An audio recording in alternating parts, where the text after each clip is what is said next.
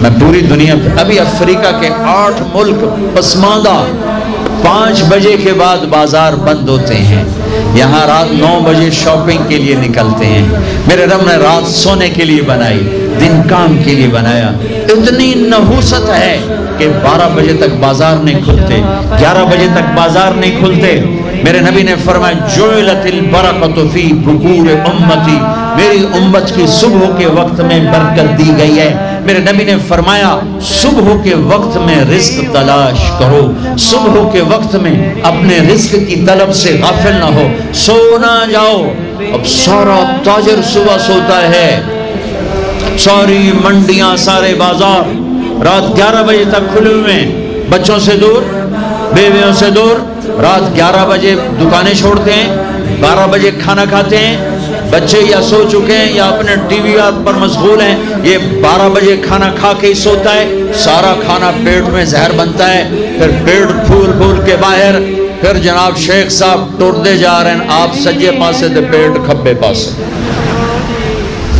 اور پھر ڈاکٹروں کی چاندی، کسی کو بلڈ پریشر کسی کو شوگر کسی کو ہارٹ کسی کو کچھ، یہ سب فطرت کی زندگی کو چیلنج کرنے کا۔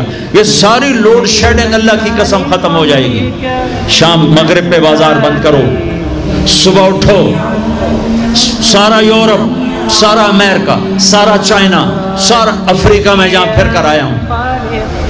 پانچ بجے بازار بند ہیں۔ نو بجے سناٹا ہوتا ہے۔ ہو کا عالم ہوتا ہے۔ تمہارے نو بجے لبرٹی سے گزرا نہیں جاتا ہے۔ کیا ظلم و ستم ہے؟ نہ دین جانتے ہو، نہ دنیا جانتے ہو۔ نہ تم دین کے واقف ہو، نہ دنیا کے واقف ہو۔ دنیا سے بھی جاہل ہو، دین سے بھی جاہل ہو۔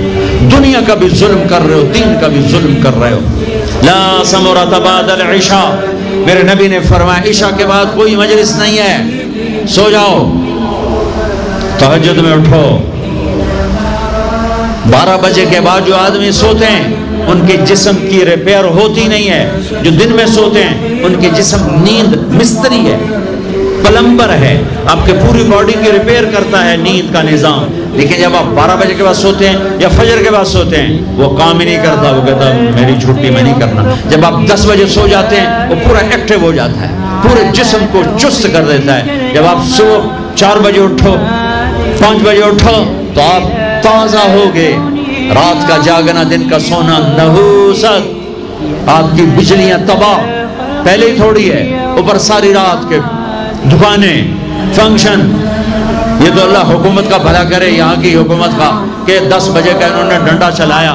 تو کچھ ورنہ تو دس بجے تو برات کی تیاری ہو رہی ہوتی۔ اور ایک بجے کھانا ہو رہا ہوتا تھا۔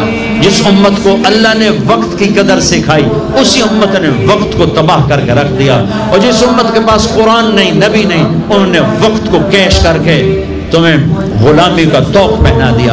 اور دنیا کو لیڈ کرنے کی طاقت اللہ نے ان کو دے دی۔ او بھائیو، نہ دنیا اچھی رہی، نہ دین اچھا رہا۔